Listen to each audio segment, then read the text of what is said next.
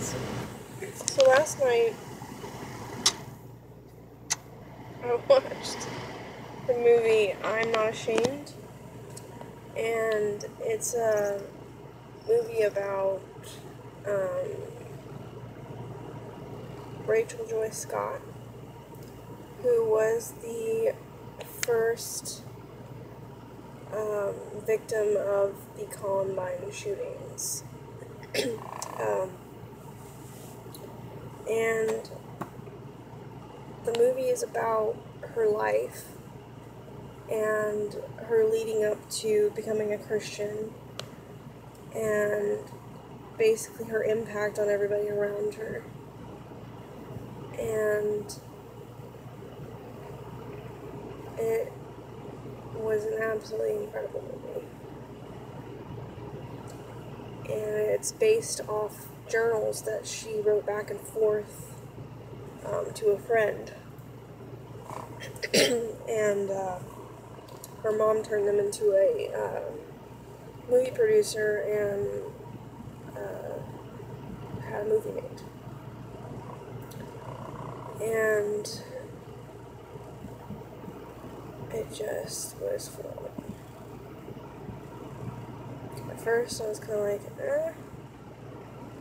Because she's like a typical teenager, you know, she's partying and hanging out with friends, and I'm just I'm not sure about this, but as the movie goes on, it just got better and better and better. It was truly inspirational. And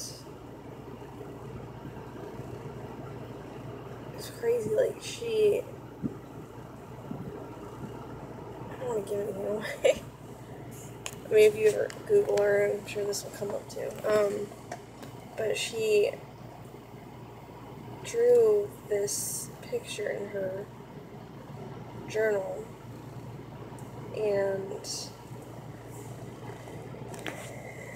they call it um, the 13 Tears drawing, and it's of her eyes, and then it's there's 13 tears, and tears appear to be watering a rose. Well,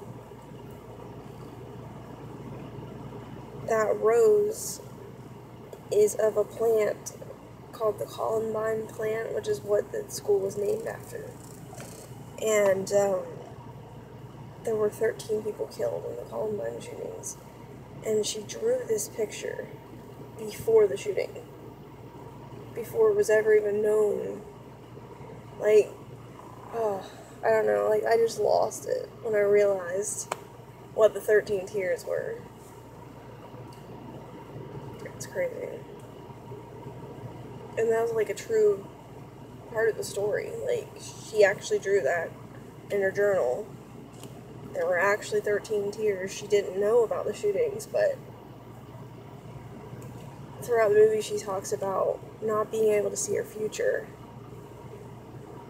not being able to imagine going to college and getting married and having kids, and it was almost like she knew she was gonna die. I don't know. It was just, it was a really good movie. I thought it was gonna be all sad and like depressing, and it really wasn't. It was very inspirational. She really made an impact on the world around her. And she was only 17 years old. So, yeah. It's a big deal. So I definitely encourage you guys to watch the movie because it's just. It was a really good movie. I can't believe I waited as long as I did to see it,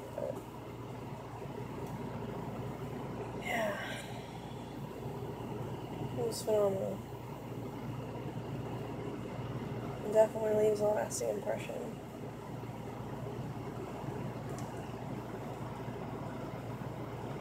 And I mean, if the story was true, she was what a Christian should be.